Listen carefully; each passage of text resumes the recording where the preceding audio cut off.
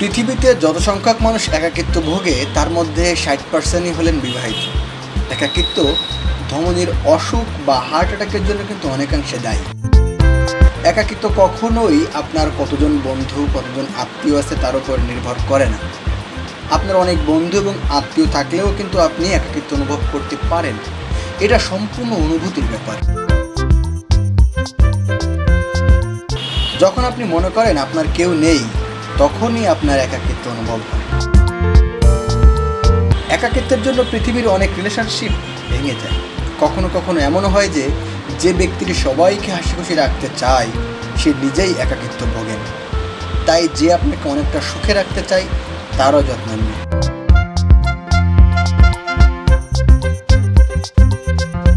সব থেকে বেশি আঘাত করে সেই মানুষের দেওয়া একাকিত্বটা, যার সঙ্গ আপনাকে কাল পর্যন্ত বিশেষভাবে শক্তি জুগিয়েছে, কিন্তু আজ সেই আপনাকে অপ্রয়োজনীয় মনে করছে। বুদ্ধিমান লোকের হাতের লেখা খারাপ হয়ে থাকে, কারণ তাদের মস্তিষ্ক অন্যদের তুলনায় একটু বেশি সক্রিয় হয়, যার ফলে তাদের হাতের লেখাও স্পিড হয়। আর এতেই হাতের লেখা খারাপ হয়ে যায়, তবে শুধু যে পড়াশোনায় বুদ্ধিমান হতে হবে এমন কিন্তু নয়, কারণ অনেক ক্ষেত্র আছে যেখানে পড়াশোনা জানার ডিগ্রিধারীরাও হেরে যায় একজন অল্প শিক্ষিত লোকের কাছে।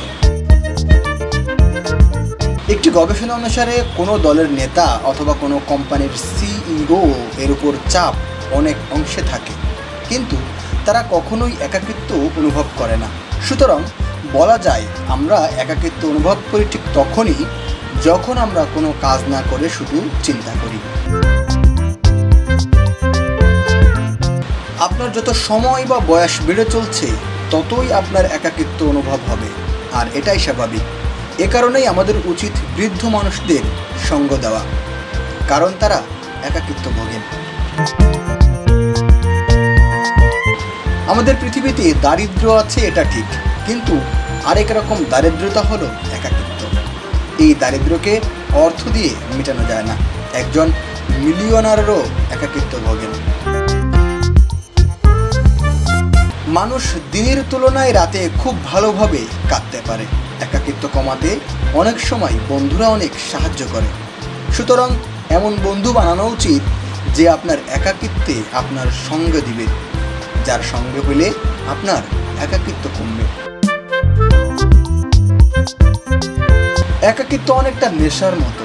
যখন আপনি এর স্বাদ পেয়ে যাবেন, আপনি নিজেই অন্য মানুষের সাথে বেশি মিশতে চাইবেন না। একাকি থাকতে চাইবেন। একাকিত্ব মানুষকে নতুন ভাবনা যোগায় নতুন করে পথ চলতে শেখায়। একাকিত্ব আমাদের জীবনের সমস্যাগুলিকে মুখোমুখি পর্যালোচনা করতে শেখায়। আপনি কি জানেন একাকিত্ব থাকা খুবই স্বাস্থ্যকর? যদি আপনি জানেন না কীভাবে একাকিত্ব থাকতে হয়, তাহলে আপনার একাকিত্ব থাকাটা প্র্যাকটিস করা উচিত। জীবনের সবচেয়ে বড় জিনিস হলো এমন কাউকে খুঁজে পাওয়া যে আপনার দুর্বলতা, আপনার ভুল, আপনার উদাসীনতা জেনেও তার কাছে আপনি সেরা।